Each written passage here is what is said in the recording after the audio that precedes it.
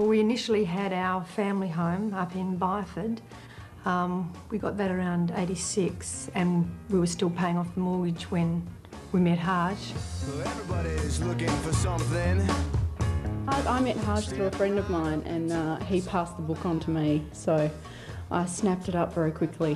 What they ended up doing was paying it off in four, and in that four years, they're now mortgage free. The only thing I do know is I wish I'd discovered it 20 years ago. West side, uptown, or down.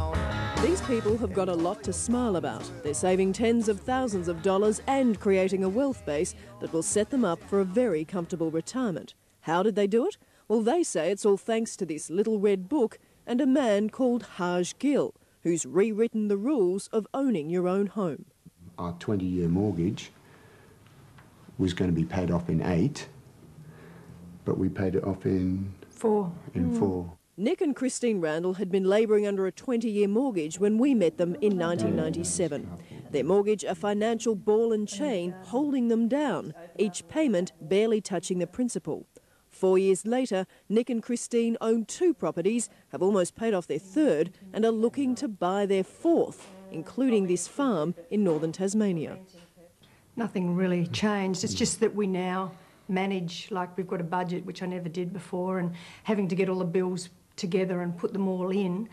And it's a bit of a game actually, because like you can think, oh, you know, what if we went and bought a new car, and you can kind of put that into the calculations, and it'll show you how much longer it'll ex- extend your loan for. I should own my first home by the time I'm 32.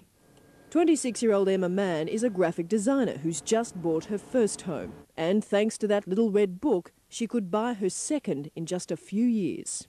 Already I'm probably technically on the home loan about $1,000 ahead, but in reality I've actually got um, about $20,000 sitting in the loan. So it's um, saving me a lot of money. I'm very, I'm very humble that people are actually going out, taking this information and applying it. Because for me, it was all about making a difference in people's lives. And I believe that we've, we've been very successful in doing that. This is one of those little gems uh, that show you how to cut the term of your home loan significantly.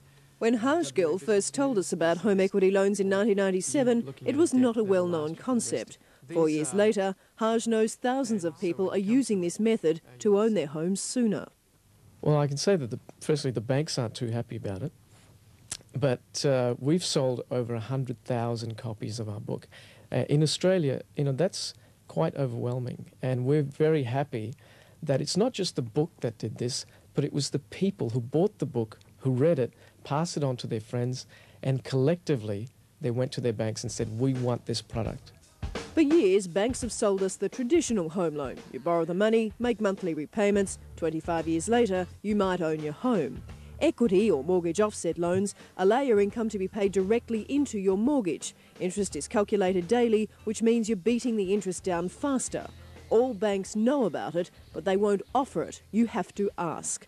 Nick and Christine did, and the response?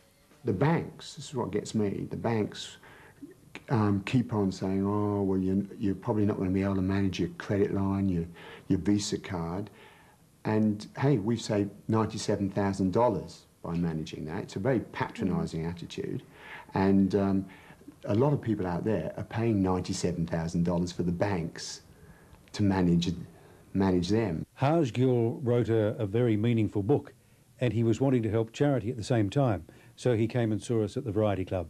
And I read the book and uh, there it was, all revealed.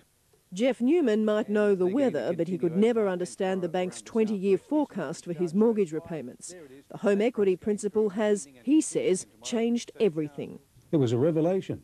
For years, the banks had been carrying on.